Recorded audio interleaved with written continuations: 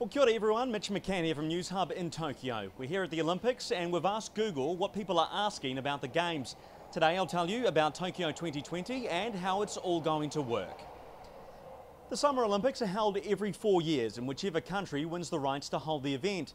In recent years they've been held in Beijing, China, London, England and Rio in Brazil.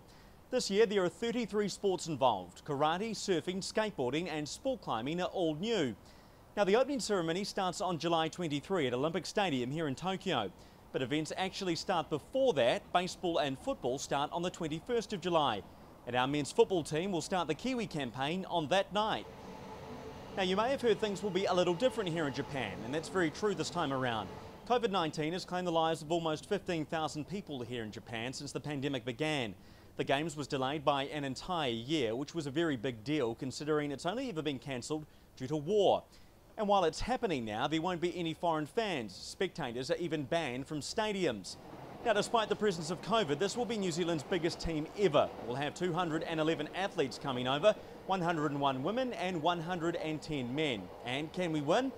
Well, of course we can win. We've got loads of medal chances this time around. Valerie Adams, Lisa Carrington, Lewis Clareburt, our sevens teams, they are all in with a chance. At the last Games in Brazil, we won 18 medals, so that's the number to beat this time around. So how can you keep up with the Olympic Games? Well, we have you covered. Newshub's team of Lisette Reymer, Ollie Ritchie and myself will have all the Olympics information you'll need over the next couple of weeks. And we'll see you on the AM show throughout the day on News Hub and here online. We'll see you soon from Tokyo. Sayonara.